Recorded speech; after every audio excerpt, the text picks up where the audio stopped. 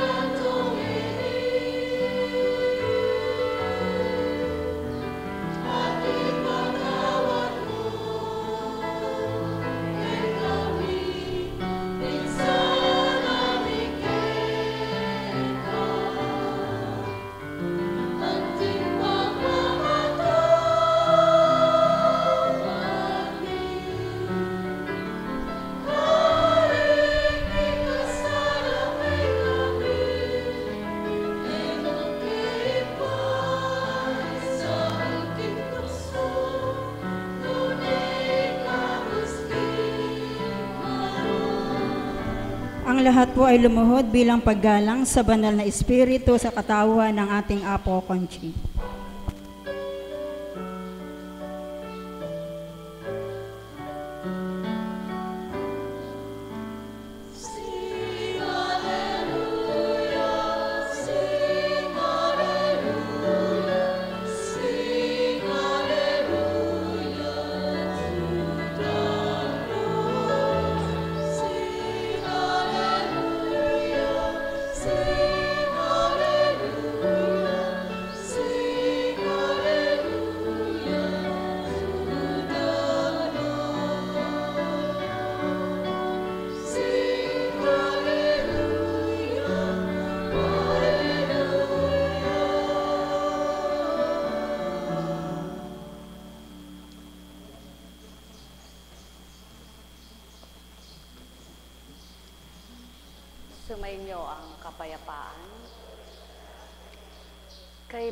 Ng Ama, kay dakila niya.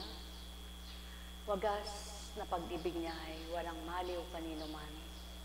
Kapangyarihan niya ay di kayang liripin.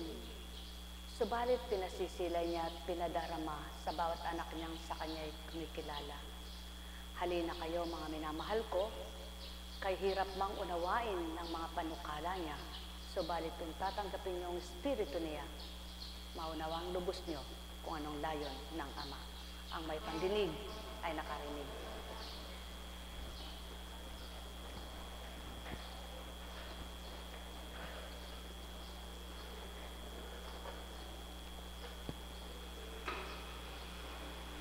Kung tuwirang dadamhin lamang ang Ama at kikilalanin siya, sa bawat paninindim may pang-aliw siya.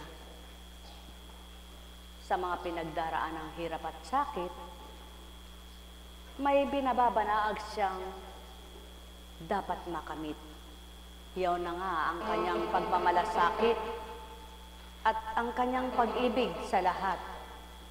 Kaya't kung tuwirang siya'y natatanggap at tuwirang tatanggapin ng lahat, mapapatotohanan niya siya ang buhay na lumilingap.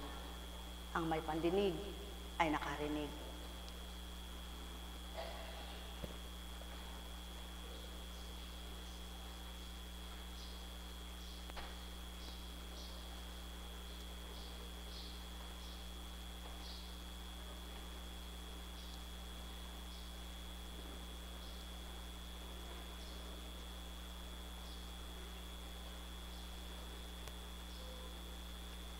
Maliwanag ang katotohanan sa bawat araw. Kung may nagaganap sa buhay mo tao, wika niyang maliwanag ka di naman, alalahanin mo, di ka nag-iisa. Na kung susuriin mong mabuti at pagtitiwalaan mo, di mo man nakikita ang bumuhay sa iyo at nagpahiram ng buhay. Binabadya niya man ang mga salita niya para makaalala at ipaalala. Hindi para pasakitan ang mga anak niya, kundi para ipamulat sa katotohanan, ipabatid ang katotohanan, at matupad ang katotohanan at makalaya sa katotohanan. Sa pagkakaalipin, bilang mga inalipin kung ano man ang pagkakaalipin ng bawat isa, itakdat ibigay ang marapat na paglaya. Kaya't halina kayo mga mahal, huwag niyong pag-alinlanganin ang kapangyarihan ng Ama. Bagkos, tanggapin yung lubos, paniwalaan yung ganap, mahirap mang tinatawid, mahirap man na sinusuong, mahirap man ang pinagdaraanan, siya pa rin ang katugunan, siya pa rin ang pamamaraan. Sa ganang kalayaan, kakamtin niyo rin ang tunay na kagalakan. Mula kay Juan, ngunit si Tomas na tinaguri ang kambal, isa sa labindalawa ay wala roon nang dumating si Jesus. Kaya't sinabi sa kanya ng ibang alagad, Nakita namin ang Panginoon. Sumagot si Tomas, Hindi ako maniniwala hanggat di ko nakikita ang butas ng mga pako sa kanyang mga kamay. At naisusot dito ang aking daliri at hanggat hindi ko may papasok ang aking kamay sa kanyang tagiliran. Makalipas ang walong araw, muling nagkatipon sa loob ng bahay ang mga lagad, kasama nila si Tomas. Nakapinid ang mga pintuan, ngunit pumasok si Jesus at tumayo sa gitna nila. Sinabi niya, Sumainyo ang kapayapaan. Saka sinabi kay Tomas, Tingnan mo ang daliri. Tingnan mo ang aking kamay at ipasok mo ang iyong daliri. Ipasok mo ang iyong kamay sa aking tagiliran. Huwag ka nang mag-alinlangan. Maniwala ka na. Sumagot si Tomas. Panginoon ko at Diyos ko, sinabi sa kanya ni Jesus, naniniwala ka ba nang dahil sapagkat nakita mo ako? Mapapalad ang mga naniniwala kahit hindi nila ako nakita.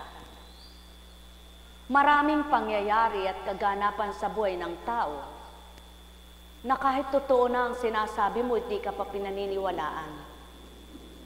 Lalo tigit kung hindi mo sila katulad na tapat sa iyong pangungusap, na totoo sa iyong mga sinasabi, na tapat sa iyong kapwa, na nakikipagtotoo sa iyong kapwa, dahil hindi sa iyong sarili, kundi ganang sa espiritong tinanggap mo.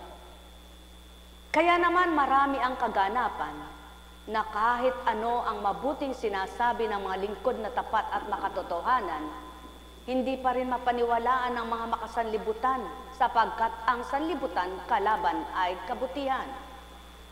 Kalaban ng kabutihan, ang espiritong banal naman ang tinataglay. Yamang hindi nga magkaisa yung sanlibutan at ang espiritong banal, hindi nga sila magkaisa at magkasundo. Kaya doon ay sasalarawan ang pagiging isang totoo ng tao at pagiging ganap ng tao sa pakikipag-isang relasyon sa Diyos na di nasisilayan. Kaya naman ang makasanlibutan kay hirap papaniwalain sa mga mahiwaga.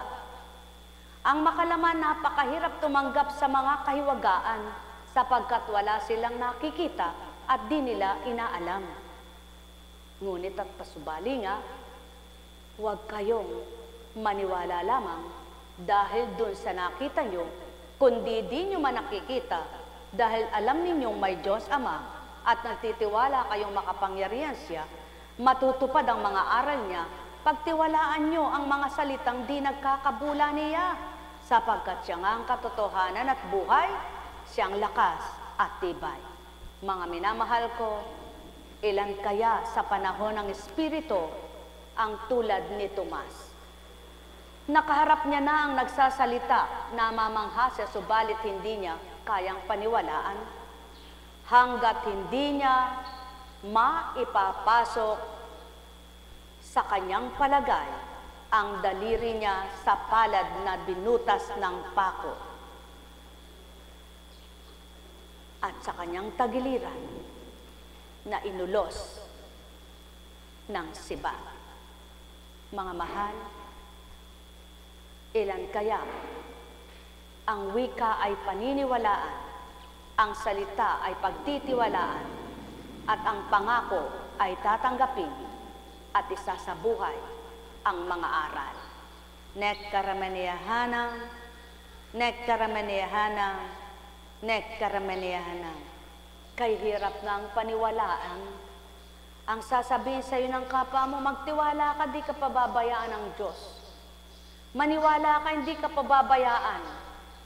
Marami ang magsasabi, naniniwala ako may Diyos, kaya lang, kailangan gamitin ng hindi lamang paniniwala, kundi kumilos din. Tama, kumilos ka nga rin. Ngunit paano kung ang sinasabihan mo'y kumikilos ng lihim na hindi mo naman alam? Sino kaya ang matwid na masasabi, ikaw na nagsasalita na kaya mo lamang nasasabing gayon, dahil hindi sa iyo nakatuon at hindi ikaw ang may kaganapang gayon. Ganyan ang buhay dito sa lupa. Madaling sabihin ng tao ang mga dapat nilang gawin, ngunit hindi nila naisasakatupar at di nila nagagawa. Ngunit ang Ama, lahat ng sinambit niya, tinuran niya sa lupa, pinatupad niya, sinagawa niya, sapagkat ang kanyang salita may kalakip na gawa. Ilan kaya sa oras na ito ang nagsasabing nananampalataya at naniniwala ako, ngunit naghahanap siya ng himala. Ilan nga kaya ang makakakita ng himala kung ang puso niya ay walang paniniwala? Ilan kaya ang makakakita ng hiwaga kung ang isip niya ay nag-aalinlangan? Mga mahal, tanggapin niyo muna ang maliwanag na pag-uulat ng Ama na ikaw taong anak ko, kilalanin mo ang kapangyarihan ko at matatanto mo kung sino akong tutupad sa buhay mo.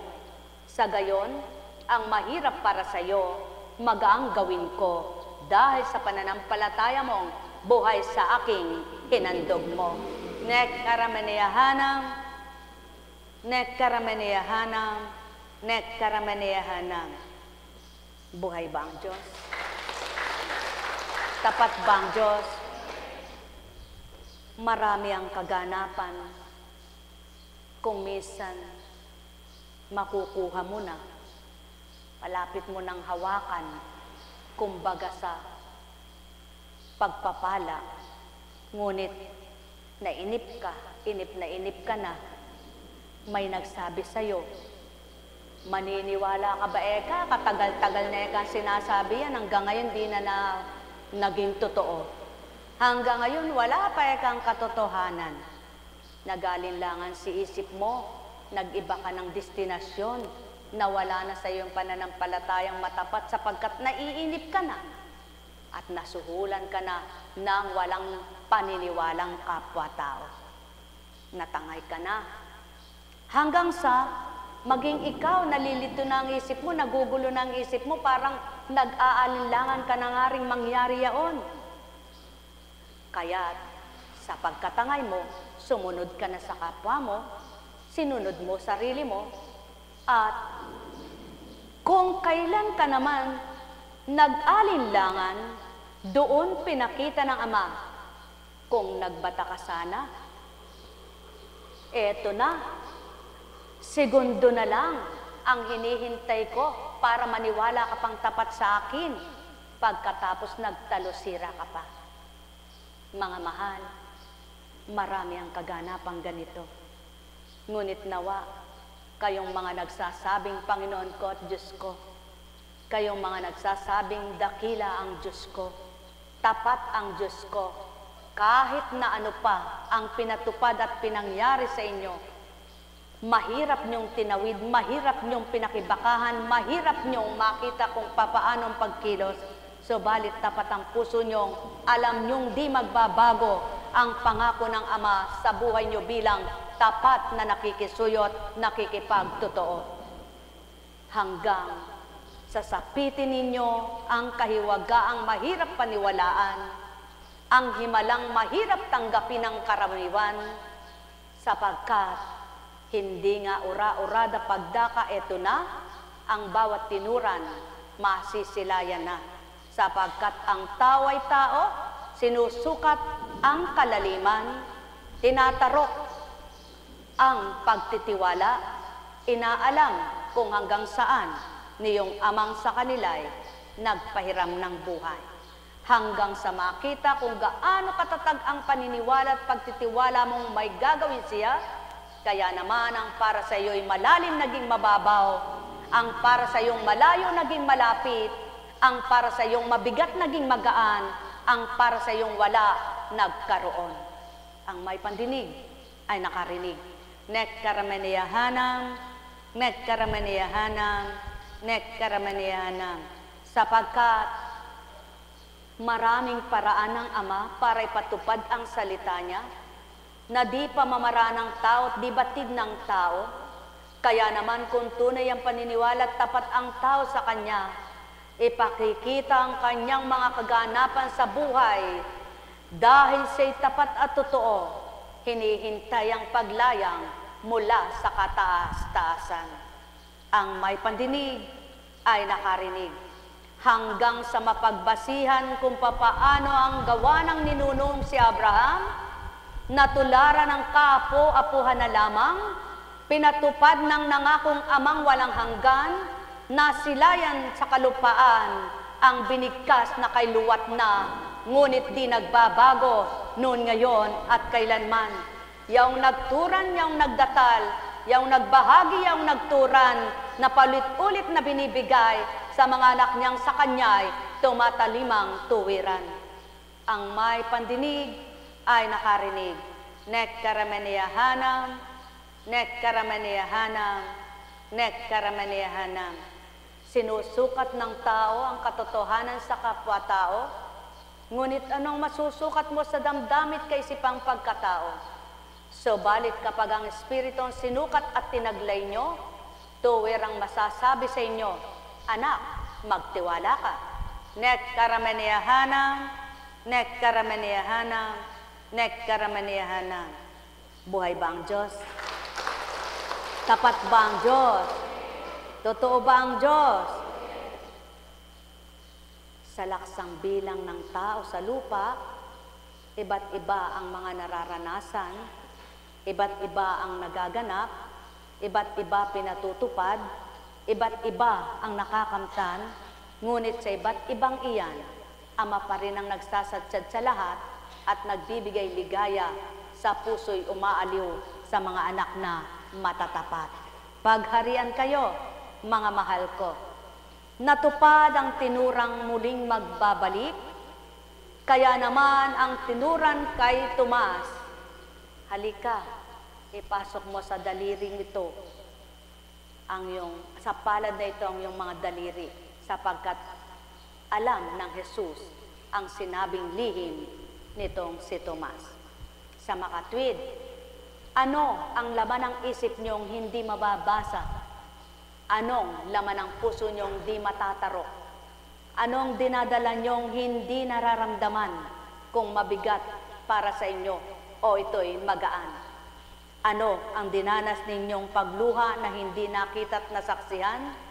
Ano ang nakita ng Ama na sa inyo'y pinaghihirapan na hindi niya batid at kailan may di mababatid? Sapagkat ang lahat niya ibatid niya, kaya't ilagak niyo sa Kanya ang hinaingat daing, ang katapat at pagiging makatotohanan. Pagharian kayo, mga minamahal ko, nek karamaniyahanam, nek karamaniyahanam, nek karamaniyahanam. Buhay ba ang Diyos? Tapat ba ang Diyos? Totoo ba ang Diyos? O kay buti ng Ama, kay dakila niya, kaya mula sa Efeso, sa makatwid, hindi na kayo dayuhan o taga-ibang bansa, kundi kababayan ng mga hinirang ng Diyos at kabilang sa kanyang sambahayan. Kayo'y itinayo rin sa saligan ng mga apostol at mga propeta na ang batong panalukan, panulukan ay si Kristo Jesus. At sa pamamagitan niya, nagkakaugnay-ugnay ang bawat na bahagi ng bahagi ng gusali at nagiging isang templong banal. Dahil din sa inyong pakikipag-isa sa Kanya, kayo may kasama nilang naging bahagi ng tahanan ng Diyos sa pamamagitan ng Espiritu niya. Buhay bang Ama? Kaya sa isang balangkas ng Ama, nakapag-uugnay-ugnay siya ng mga nais niyang pag-ugnayin, na pagtitiyak-tiyak niya ang nais niyang pagharapin, na pagsasama-sama niya ang nais niyang buklurin sa katotohanang taglay ng Espiritu niya na tututong mga anak niyang kumikilala sa Kanya. Ang may pandinig ay nakarinig. Buhay ba ang Diyos? Tapat ba ang Diyos? Kaya ang mga matitibay at matatatag na pananampalatayang binuhay ng Ama sa mga anak niya, siyang nagsisilbing pagpapalakas, pagpapatibay at kaaliwan ng mga ginugupo ng kapwa nila. Pagpalain kayo. May naganap na bang hiwaga sa buhay nyo? May pinakita na bang himala sa buhay nyo? Alalahanin nyo yun sa tuwina nang hindi man lamig at manghina ang pananalig nyo. Gunitain nyo yun sa tuwina nang hindi kayo malayo sa pamagitan ng Espiritu Santo. Huwag ninyong kaliligtaan kung ano ang mga pinakita at pinadama sa inyo na kaiba sa gawa ng tao at pagkakaiba sa gawa ng tao sa mundo upang anuman ang pinagugunit at naaalala ninyo ng gawa ng amay kaiba't naiba, yaw nang magsilbing liwanag ng inyong isip at pagpapatatag ng inyong kalooban. Pagpalain kayo, buhay ba ang Diyos? Tapat ba ang Diyos? Totoo ba ang Diyos? Tingnan nyo nga po yung bukiri na yan, laging ginagawa niyang halimbawa. Inararo, nagputik, naglusak, wala namang naghasik ng damo, ngunit tingnan nyo, kulay berde sa daming damo niyang nagsitubo. Na kahit hindi umuulan na ilang araw, nabuhay pa rin ang gustong patubuhin ng ama. At nang dumating ang ulan, lalong lumago sila. Kung yung damo pinatutubo niya, wala namang silbit na kapeperhisyo lamang sa lupa. Kung may halaman ka, iniinis ang halaman mo. Kung may palayan ka, nananaig yung damo, kakauntianihin mo. Bakit nilolob niyang tumubo? Dahil patotoong, ang kaya niyang buhayin ay di kaya ng nilalang. Ang kaya niyang ihasik ay di kayang ihasik ng tao lamang. Ngunit, ang walang paniniwala, hindi nila kayang pagnilayan at pagbulayin yan. Ngunit ikaw taong may paniniwala at pagiging tapat ang nasa puso mo, alalahanin mo ang damo sa parang walang nagpatubo, walang nagpapatubo, at walang nangangalaga, ngunit tumisibol silang kay lalago. Ikaw pa kayang nakikipagtotoo sa Ama? Ang pabayaan niya at ikaw ay parusahan niya? Sa kabila ng iyong pagbabatang pagsisikap na ikay maglingkod ng tapat? Sa kabila ng pagsusumakit, pagsusumikap mong siya'y paglingkuran mong ganap? Ikaw kaya'y paluluhain na lamang sa buong maghapon at magdamag? Ikaw kaya'y gugulapiin na lamang ng iyong mga pinagdaraan ng sakripisyo sa buhay? Ikaw kaya'y gugupo na lamang ng mga lalahanin mo at mga kagulumihanan? Tandaan mo, hindi. Kung may nilolob mang mangyari sa iyo, upang huwag kang matulad kay Tomas, manalig magtiwala ka sa mga salita niya. Ang may pandinig ay nakarinig. Buhay ba ang Ama? Tapat ba ang Diyos? Totoo ba ang Diyos? Kaya kapag dumarating ang inyong pagkatao at sa palagay nyo'y para bagang natatangay kayo, gawin niyong marapating unahin manalangin at bigkasin ang ama ko, saklolohan mo ako. At pagkatapos, purihin mo siya at biglang napaalala ng Espiritu niya, bakit ka nag-aalala? Ba't di dumulog ka nang marinig ka ng amang may habag at awa sa iyo? Sa gayon, sa hindi mo namamalayan, may natutupad na sa katawan mo, may ginagawa na sa katawan mo, naiiba na damdamin mo, naiiba na ang isip mo, nagliliwanag na at may pangunawa na, tumatapang ka na at nasasabi mong, bakit nga ba ako mag-aalala? Ang Diyos ko ay buhay sa tuwina. Ang may pandinig ay nakarinig. Nekkarameneyahanang, nekkarameneyahanang, nekkarameneyahanang. Buhay ba ang Diyos? Tapat ba ang Diyos? Sa palagay nyo, magtatag-ulan na? Hulyo na eh. Ano po? Ilang buwan na lang, ilang buwan na naman ang da ang hihintayin at anibersaryo na naman. Ano po? Labing-anim na taon na sa patnubay ng Ama. Bakit di mo nga siya pagtitiwala at paglilingkuran? Bakit hindi mo nga siya paniniwalaan? Samantalang kung may susuri kang, magsusuri ka sa sarili mo, babasihan mo yung dating si ikaw, dating sa buhay mo, at dating kung paano ka mamuhay. At kapag nasuri mo, ang laking bahagi ng Diyos sa buhay mo, makakalimutan mo na kahit ang hirap ng tinatawid mo, kahit ang bigat na pinapasan mo, dahil ang nararamdaman mo, ang galak kung papaano iniba ka na iba ka, at ang mga pinagugunita sa iyo, ang pagbabago ng pagkatao mo. Buhay ba ang Diyos? Kung sa dating buhay mo, mga maintenance na iniinom mo, kapag hindi ka uminom niyon, palagay mo'y mamamatay ka, subalit ng pinili ka at napili ka, isa ka sa mga binahaginan niya, wala kang takot na kahit di ka uminom, di ka mamamatay. Dahil alam mo, habang may magagawa siya, gagawin niya sa iyo, at habang mabubuhay ka, maraming paraan siya. Kaya naman, sa mga binuhay ang pananampalataya at nabuhay ang pananalig sa Ama, na pagtanto nila, siya nga buhay, siyang lakas, bakit? Kaya sila maba, bahala. Naganap na ba ito sa inyo? Kay palad ninyo kung gayon nga, na sa dating buhay mo, uutot ka lang, hirap na hirap ka pa. Ngayon, sabihin mo lang, Panginoon, parang may kabag ako, paututin mo nga ako. Pamyamya, uutot ka na. Kung sa dating buhay mo, aligagang aligaga ka, dahil araw-araw, parang gusto mo'y hawakan mo na lang pera ng pera, ngayon ang pagkaaligaga mo, hindi na sa pera, kundi para maglingkod ka. Kung sa dating buhay mo, inis na inis ka kapag may narinig kang hindi mo gusto sa kapwa mo. Ngunit nang binigay ng Ama ang pagbabago sa iyo, may naririnig ka man, may nalalaman ka man, sabi mo lang, Salamat. Buhay bang Ama? Kung sa dating pagkatao mo, para para bagang kapag may kumislot sa katawan mo, ano kaya yun? May cancer na yata ako. Ngayon, kislot ng kislot, kirot ng kirot, ang sabi mo lang, hu, hangin lang yan. Gayon nga ang layon at nasa ng Ama. Kumbaga sa puno, kung saan mo hinuhubog, hinuhutok at tinasandig, doon siya mabubuwal. Ngayon, ilagak, ilagak niyo sa Ama ang buhay niyo at isipin ninyo'y mabuti nang maganap ay mabuti.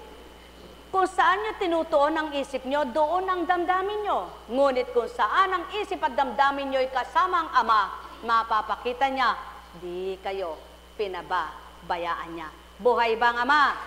Kaya ang mga masisipag at may pagpapahalaga sa halaman nila, kapag nakita nilang medyo humilig at para bagang ito'y tutumba, nilalagyan nila ng tukod nilalagyan nila ng serga para nang sa gayon ekay huwag tumumba. At pagkatapos, nakahilig man ito, tutubo pa ring matibay ang ugat niya at bandang huli sumuhol pa ng iba at tumibay na tumandig, tumayo pa yung sumuhol na puno niya. Ibig bagang sabihin ay ano, kayo, kung may nakita kayong nabubuwal, mabuhay na pananampalataya, lagyan nyo ng pamamaraan kung paano ititindig nyo sila. At kapag binigyan nyo sila ng kaparaanan kayong matatag at matibay ang pananalig at pananampalataya, na hindi kayo naging daan para magupot-gigupo ang kapwa-tao nyo, kundi naging daan pa kayo ng para tumibay at matatag na pananampalataya kamti nila sa di nyo namamalayan, ang naitindig nyo, may sumuhol na iba, may susuhol pang iba, may susuhol pang iba, na parami ang mga nagawaran ninyo ng buhay na pananampalataya, kaya namang ang ginagawa ninyong mainam at mabuti sa kanila, ano kaya sa palagay nyo ang igaganti ng Ama? Tulad ng nabubuwal ng halaman, ngunit nakatindig pa rin ang ugat niya, nagsuhol ng mabuti, nagbigay ng sanga, nagbigay ng bunga, yaong amang mahiwaga sa tuwina. Buhay ba ang ama? Kaya ang pag-aalinlangan ay huwag gawin, kundi ang katapatan ang buhayin. Pagpalain kayo. Buhay ba ang Diyos? Tapat ba ang Diyos? Totoo ba ang Diyos? Kaya nga, yung hindi mo inaasahan, minsan binibigay sa'yo na pagpapala, nahiwagaan ka pa. Ay, alam ko wala na akong anihin, pero dahil buhay pa lang Diyos, may anihin pa ako. Nagtitiwala akong may ibibigay siya sa akin. Kaya nga, pag-aralan ninyo, may nagtubo bang kusa sa alagaw? May nagtubo bang kusa sa alatris? May nagtubo bang kusa sa sambong? May nagtubo bang kusa sa mga bayabas sa dinaraanan? Ngunit, dahil ito'y gamot, kahit na walang nagtutubo, napatu, tubo, binubuhay. Ngayon, paano mo namang malalamang ito'y gamot? May nagtutubo bang kusa sa kaimito? Sa tsesa? Sa panahon ngayon, may gusto pa bang taong kumain sa tsesa? Ngunit, sa di namamalaya ng tao, lahat ng inaayawan nila na hindi tinutubong kusa, gamot pala. O tao, may nagpapahalaga ba sa balimbing? Ngunit wala mang nagpapahalaga kung magkamisay kailangan mo yan para gamutin ka at magamot ang sakit mo. Ganon din kung magkamisa ng taong balimbing, kung di man pinahalagahan, kung magkamisan, may magagawa rin sa iyo. Dahil sa kakabalimbing niya at kakabalimbing niya, malay mo isang araw nakagawa ng mabuti sa iyo. Buhay ba nga ma? Ano yung nagawa niyang mabuti sa iyo? Nabigyan ka ng aral, nakapagnilay ka, binigyan niyang bukas diwa mo na ganun pala. Dahil sa kanyang ginawa, natuto ako. Kaya't gawin niyong mabuti, isaisip niyong mabuti ang lahat ng di tamang ginawa ng kapwa niyo upang maging maganda at mabuti ang pandaman niyo sa kabila ng mali at masama gawa nila. Sa gayon, hindi kayo masasaktan sa ginawa nilang nakaluluhat na kapagpapaluha sa inyo, bagkos, kaaawaan niyo sila at hihilingin niyong patawarin sila. Yaon ang kababaan ng loob, yaon ang pagpapatawad na matapat dahil sa pag-ibig na binuhay ng Ama. Nekkaramaneya hanang, nekkaramaneya hanang, nekkaramaneya hanang. Buhay ba ang Diyos? Minsan, makapagtatanong ka bilang tao, makita mo yung kapwa niyo, kay tagal na nilang nagsisikap, nagsusumakit, parang ang bagal ng pag-usad, pag-unlad ng buhay.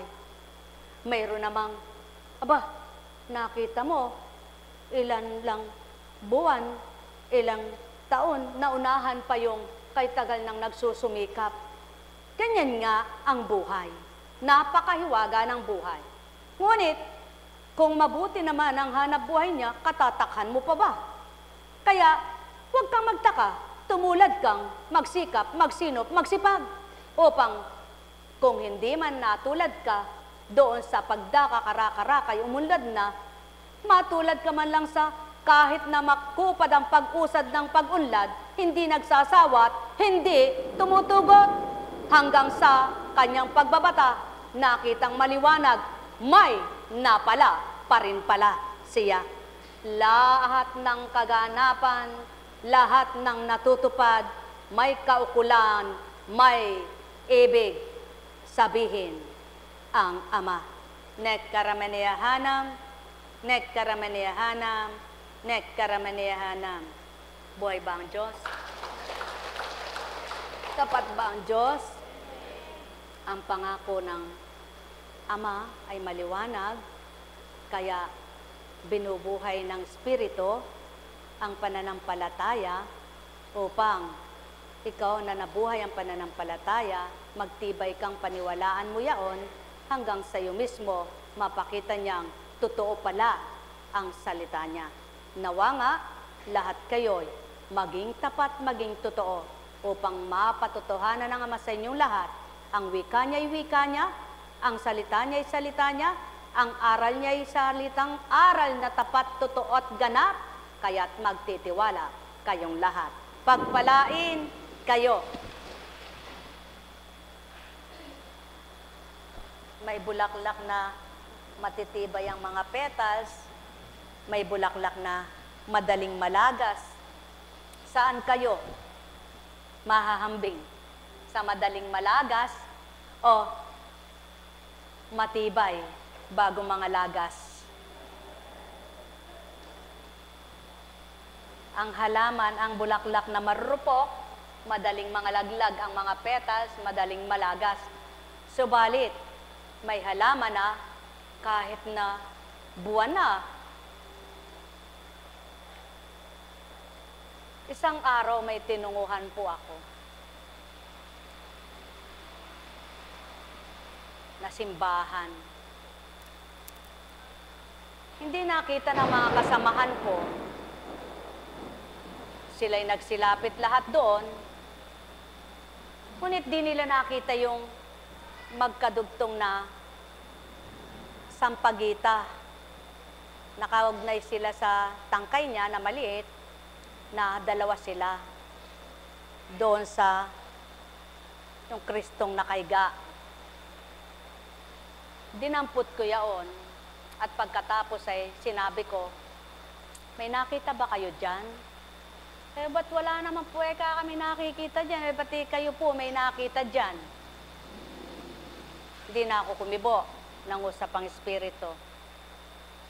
Eksakto naman po na hindi ko namamalayan, meron pala ako nakatagong Lord of Pardon na dasalin doon sa aking isang lagayan ng mga ID-ID. Sariwang-sariwa sila, dalawang petals, dalawang bulaklak po ng sampagita. Kumbaga,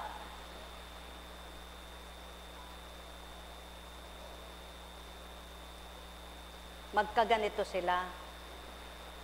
Mayroon tangkay na ganon. Sariwang-sariwa sila. Nilagay ko doon sa dasali ng Lord of Pardon. Sabi ko, Ama, kahit ito'y sariwang-sariwa, kung nais mong ito'y matuyo na magandang pagkakalapat, hindi mo ito bubulokin, hindi ito mabubulok maganda silang matutuyo. Unat na unat, sabi ko. Kaya ito'y nilalagay ko dito hanggang sa di ko na napapansin isang araw sa hindi ko sinasadya, nabuklat ko yon. Sabi ko, ay, hindi siya ng itim. Nagkulay parang orange-brown. Sabi ko, ang galing ah. Ba't di nabasa yung papel? Natuyo ko sa at naging maganda. Minsan naman, may mga tinira, inilagay sa basket, dahil hindi nayang-yang, nagkumpul-kumpul, natuyo sila na, hindi sila natuyo, nabulok. At nangusap muli ang Espiritu. Alam niyo mga minamahal, paano mong napapatotohanan ng Diyos ay nangungusap at ang Espiritu ay nangungusap? Ikaw, sa dating buhay mo, wala kang gayon. Sa dating pagkatao mo, hindi mo alam ang mga bagay na yon.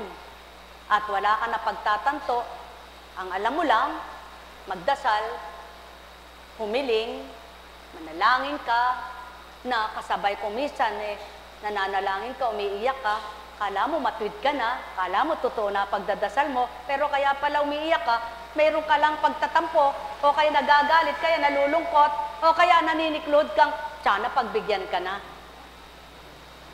At nang ikay binahagi na ng Espiritu, gusto niya mabago yung diwa mo, mabago pandama mo, sapagkat siya'y gayon. Siyang nagpapabago ng isip, siya nagpapabago ng damdamin. Ngunit ano man ang gawin niya sa'yo, ba't di ka nagbabago? Ba't wala kang pagbabago? Hindi ka nakadarama, walang nangungusap sa'yo kasi nga hindi mo siya pinakikinggan. Wala kang oras sa kanya. Ang alam mo lang, hmm, tama na.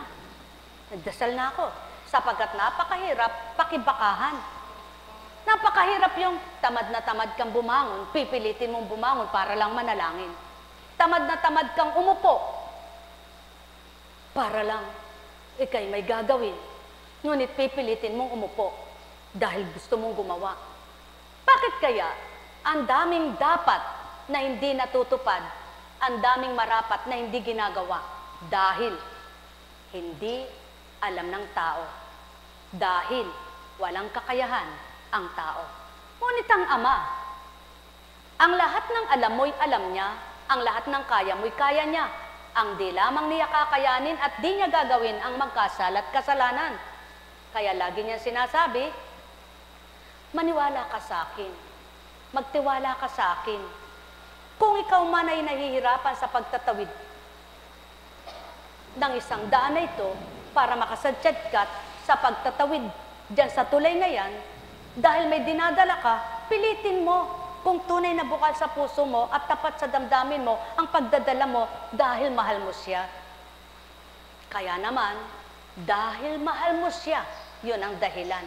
Pipilitin mo, isasadsyad mo, at pagkatapos mong naisadsyad, dahil sa mahal mo siya at mahal ka rin niya, hindi kaya kayong dalawa nakatawa? Yan ang Ama sa patnubay ng Espiritu niya, ang gusto niya lahat ng anak niya ay maisadsyad niya sa lahat ng sandali ay siyang kilalanin at makilala. Ngunit, hindi lahat ng minamahal, inaaruga, binabahaginan, ng matwid at marapat na dapat ay matanggap nila, sumunod nga, nakasunod nga, at susunod pang ganap mapapalad. Kayong patuloy nagmimiting sumunod at makasunod dahil alam ninyo sa pagsunod nyo, hindi kayo ipapahamak ng sinusundan nyo. Pagharian kayo, mga mahal ko, nek karamaniyahanam, nek karamaniyahanam, nek karamaniyahanam. Tulad nitong si Tomas, sila'y nakakulong sa isang silid sapagkat natatakot sila. Ngunit sa takot nila'y dumating ang kanilang guro. Ang umalis at muling nagbalik. Ang guro ng pinakaguro, ang gurong nagturo sa kanila, ang gurong nagbigay katapatan, nagsiwalat ng tama, nagbahagi ng tumpak, at nagsabuhay ng pag-ibig na matapat. Mga mahal, kung mulat ang tao sa katotohanan, matututunan, mauunawaan ang lahat ng marapat pag-ukulan. Nek karamaniyahanam, nek karamaniyahanam, nek karamaniyahanam. Buhay ba ang Diyos? Tapat ba ang Diyos? Totoo ba ang Diyos? Kay buti ng Ama, napakadakila niya. Salamat, salamat sa Panginoon. Aking sinusukat ring nilagay na divine mercy doon eh. Pinagmasdan kong maigi. Sabi ko,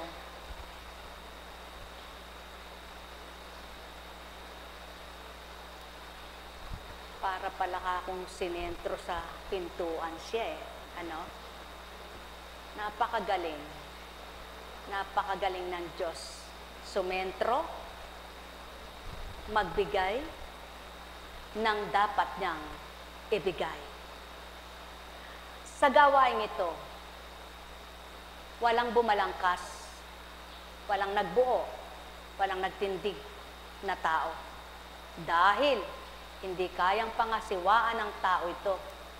Hindi kayang pamunuan ng tao ito. Dahil ang nauna sa inyo, walang karunungan, walang kaalaman para mamuno, para maging leader.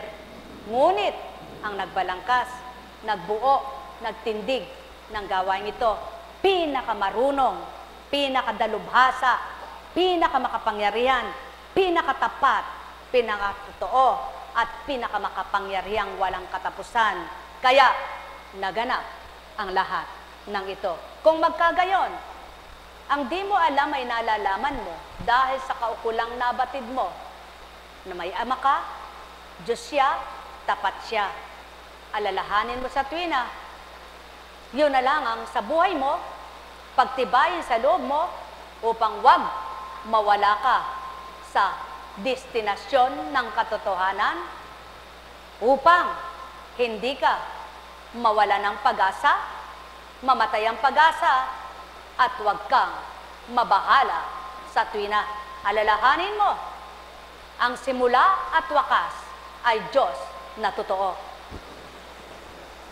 Alam kong may magagawa ang Ama. Alam kong may magagawa ang Ama. Pagka winika niya, manalig ka na. Bawat araw, ako sa inyo naghihintay. Alam kong diringgin kayo ng Ama. Alam kong diringgin kayo ng Ama. Pagka winika niya, manalig ka na. Bawat araw, ako sa inyo, may nakalaan. Mayroong magandang mangyayari sa inyo. Aking mga minamahal. Mayroong magandang mangyayari sa inyo. Manalig umangkin at tanggapin. Alam kong may magagawa ang Ama. Alam kong may magagawa ang Ama. Pagka winika niya, manalig ka na. Bawat araw, ako sa inyo may nakalaan. Mayroong magandang mangyayari sa inyo. Eh, magaan kasi kaya pinapain. Aking mga parang ipa yan pag magaan pinapain. Mayroong magandang mangyayari sa inyo. Manalig, umangkin at tanggapin. Alam kong may magagawa ang Ama. Umisan ay sagana, kung minsan ay wala, kung minsan ay karampot, kung minsan ay tama lamang, ngunit kailanman hindi naging, dap, hindi naging ganap ang walang-wala. Buhay ba ang Diyos? Sa makatwid, sabihin mo mang wala kang pagkain, meron ka pa rin nakakain. Sabihin mo mang wala kang pera, nagkakapera ka pa rin. Sabihin mo ngang wala kang buhay, humihinga ka pa eh. Buhay ba ang Diyos? Kaya araw-gabi, may pag-asa ka, maniwala ka, magtiwala ka, maging tapat ka, lahat ay maaring mapagbago ng Ama. Buhay ba ang Diyos? Kaya sa inyong lahat, napakasarap mabuhay ang pananampalataya, napakasarap buhayin ang pag-asa ng Ama, ang siyang bubuhay sa iyo. Kaya kapag nabuhay ang pananampalataya at pag-asa mo, magtiwala ka na, mahiwaga ka na makakamit sa Kanya. Buhay ba ang Diyos? Tapat ba ang Diyos? Totoo ba ang Diyos? Hmm, Katulad ng mga ganito. Saan ba nagsimula ang pananampalataya?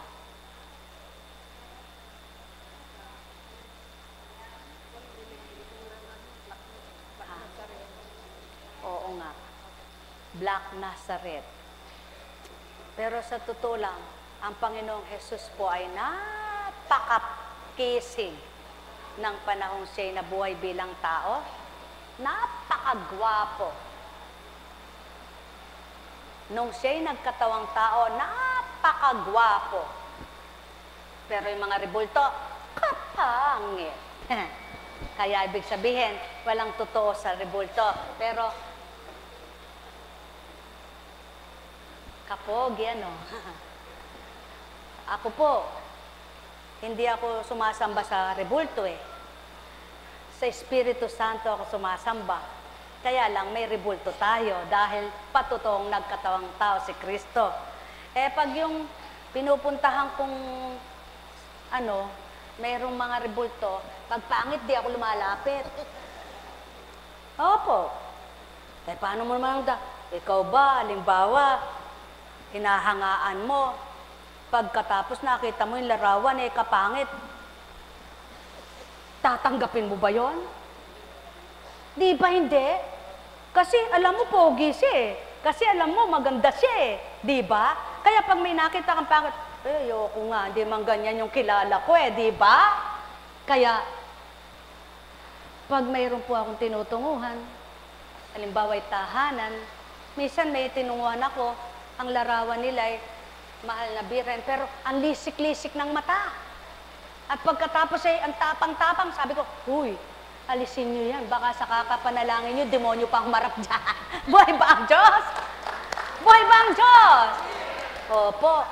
Pero katulad ng rebulto na yon, eh nung unang bin dinala, dito yan eh. Sabi ko, ay, ayoko na yan. Kasi ang pangit ka ako eh. yun po. Eh ngayon, nangusap ang Espiritu. Anak, huwag mo akong iaalis dito. Sabi niya, tandaan mo, Eka, isang araw matutunghayan yan. Pogi na.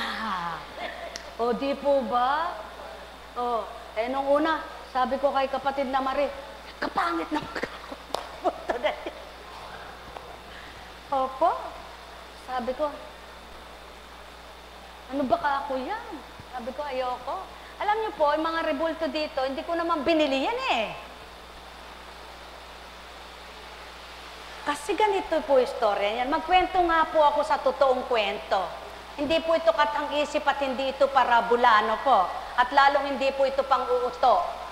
Alam niyo po, lahat ng rebultong naririto, wala po akong nilimos eh. Binili eh. Nung wala pa po itong gawain ito, dami kong luhang naubos. Kasi yung maliit pa lamang na altar na dati ko pong tindahan yun eh, dati kong... eh ngayon, nangusap ang Espiritu na balang araw eka, altar ko na ito. At balang araw, magkakaroon ng dambana. Siyempre po, sino ba naman ang agad-agad eh, pagtapos eh, paniniwalaan mo na eh. Eh, pa, saan ko kaya dadaling ka ako'y lamanir eh? Sa loob-loob ko lang, ano? Pero hindi po ako nag-aalinlangan. Umusad ang araw, ang buwan, ang taon na naglilingkod ako, nalilimutan ko na yung mga pangaral, yung mga sinambit na yon. Nako, eto na po. Nung tinakda na, nagawin na yon, dami ko luhang naubos. Kasi bilang tao, pag nasa pagkatao ka, eh, sabi kasi, demonyo daw ako. Luka-luka ako. Berat. sirabunto, kulto, kuto. Sarap, ano po. At pagkatapos eh, nakasabit yung mga toys ko. Yung aking mga rebulto. Ganyan po. Eh, sa madaling salita, sabi ko, Panginoon, di po ba't naglilingkod ako? Hindi naman sa rebulto. Para na lang po sila ay walang nasasabi.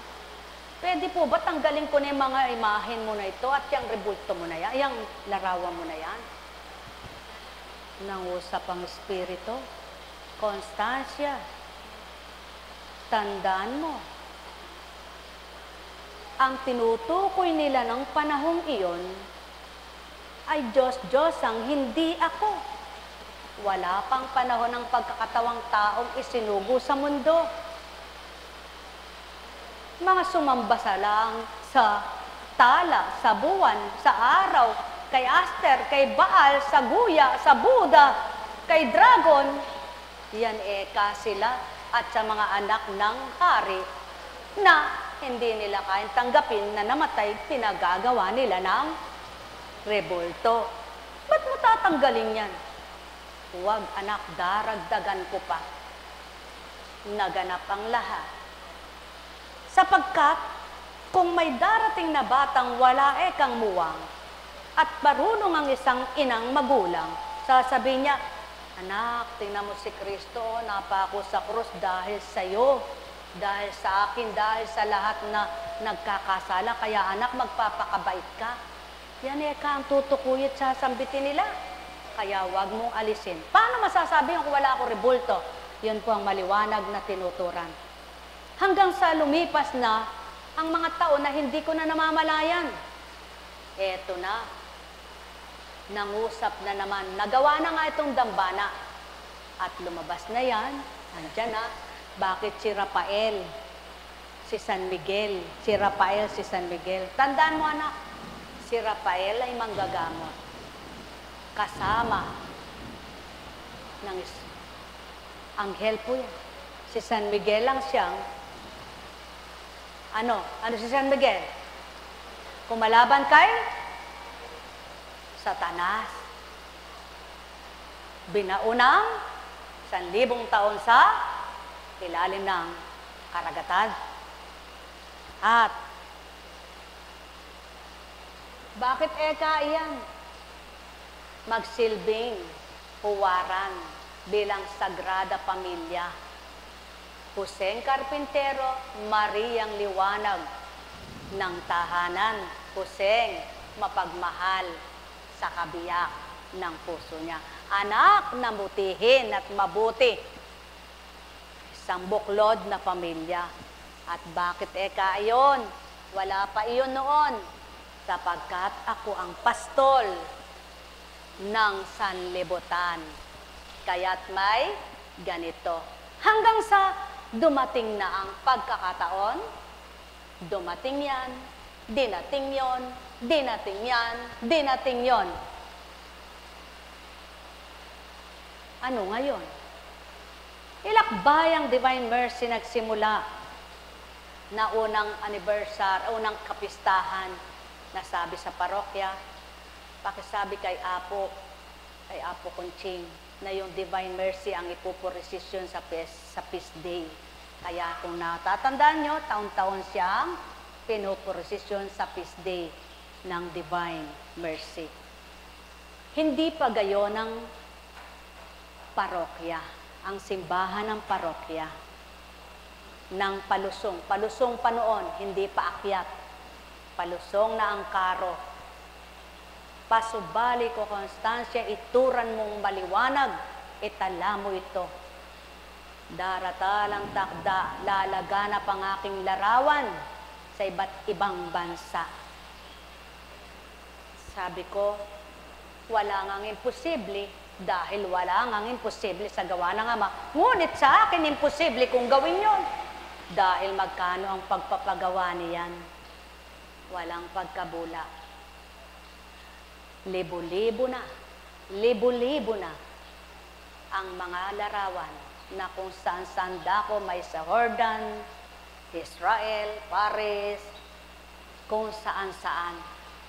May manghihingi, mag-a-abroad, sabi nila bawal, lalo na sa mga Muslim country. Subalit, nilalagay nila sa maleta nila pang ibabaw sa damit nakalulusot, nakalulusot, nakalulusot. Bawat mga kumisan, makikipag-chat sa Facebook. Apo, tingnan niyo po eka ang larawan ko. Ito po ang dala kong larawan galing po sa inyo. Nakadikit po sa aking kwarto. Siya lang po ang dinudulugan ko. Siya lang po ang pag-asa ko. Ano ang salita? Ang salita di nagkakabula. Ngunit kung tao, hindi ka panipaniwala. Kaya dyan napapatotohanan, ang salita ay salita at ang salita ay may gawa. Di man nakikita ang nagtuturan sa lupa. Buhay bang Diyos? Bakit ito ay binahagi? Para magpropaganda, e-commercial? Hindi. Para mapatotohanan nyo kung paano ang tinuran na magbabalik ang Kristo sa panahon ni Tomas hanggat hindi nakikita ang nagsalita, hindi makapaniwalang nagbalik ang nagwika. Sa panahon ngayon ng Espiritu, hanggat di nakikita ng taong katupar at kaganapan ng mga sinambit ni Apo Kunting, hindi ako naniniwala. Gayon lang ang buhay. Kaya ikaw na nagbibigkas, pinatuturan, pinaluluwalang dapat, panindigan mo, paniwalaan mo, dahil sa iyo nagmula ang salita. Yan ang patotoo ng Kristo. Pinanindigan, pinanindigan ang salita ng Ama, kaya't pinatupad sa lupa. Buhay bang Ama? Kaya sa inyong lahat, sumainyong kapayapaan, pagarian kayong tuwiran, malubos ang kasiyahan, walang imposible, laging posible sa Ama. Walang di magagawa siya sa ikabubutit makabubuti ng mga anak niya, kaya lagi kang manalig sa Kanya. Huwag mong pag-alinlanganin ang kapangyarihan ng Diyos mong tinatawagan upang matupad maganap sa iyo ang himala niya. Ang may pandinig ay nakarinig. Sa pangalan ng Diyos Ama, Diyos Anak, Diyos Espiritu Santo, humayo kayong taglayang galak sa puso nyo. Maliwanag niyong sikapin. Maniwala ka muna, magtiwala ka muna nang makita mo'y himala ng Ama. Sa gayon, ang bawat araw, tatatag titibay ang pagtitiwala mo kapag sa puso mo'y Kristo Ama. Pagpalain kayo. Tayo na. Uwi na. Buhay bang Diyos?